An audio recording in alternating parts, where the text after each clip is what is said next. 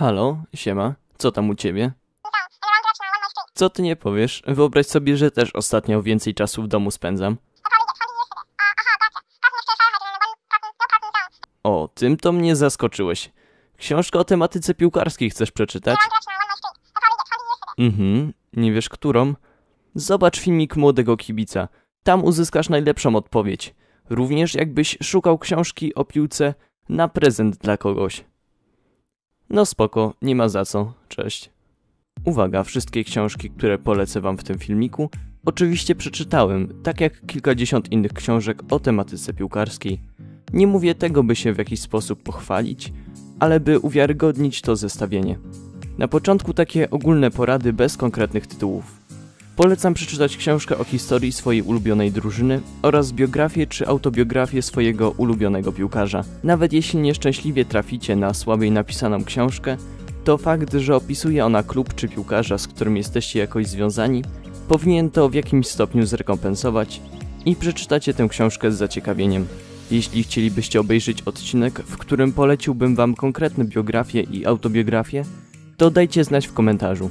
Jeżeli chciałbyś poznać historię piłki nożnej, to książka Stefana Szczepułka, Moja historia futbolu, będzie idealną lekturą dla Ciebie. Autor chronologicznie przedstawia najważniejsze mecze, rozgrywki oraz opisuje sylwetki najlepszych piłkarzy i trenerów.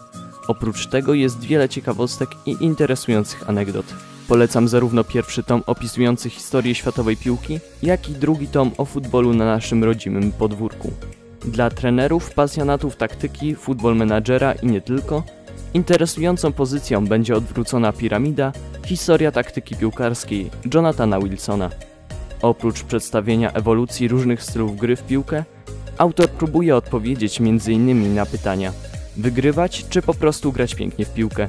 Czy na boisku da się pogodzić walory fizyczne z umiejętnościami technicznymi?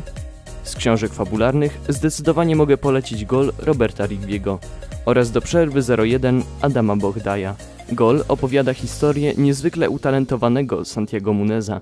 Meksykanin ma marzenie, by zostać piłkarzem, ale musi wiele godzin pracować, by wspomóc rodzinę, z którą mieszka w USA. Co więcej, jego ojciec jest przeciwny, by Santiago poświęcił się piłce. Czy mimo tych i innych przeciwności uda mu się spełnić marzenie? Ja wiem i wy też będziecie wiedzieli, jeśli przeczytacie książkę albo obejrzycie film. Do przerwy 01 również doczekało się ekranizacji. Akcja toczy się w Warszawie, w czasach, kiedy grało się pod blokiem od rana do wieczora, a piłka była towarem luksusowym. Książka jest świetnie napisana, można poczuć klimat tamtych wydarzeń i z nostalgią przypomnieć sobie, jak kiedyś można było się spotkać z kolegami i grać z nimi w piłkę. Na koniec chciałbym polecić coś dla kibiców jeszcze młodszych ode mnie, takich w wieku wczesnoszkolnym. Piłkarskie łamigłówki wydane przez Aksjomat łączą ze sobą różnego rodzaju zadania logiczne, matematyczne czy kolorowanki. Co najważniejsze, wszystkie są w jakiś sposób związane z piłką.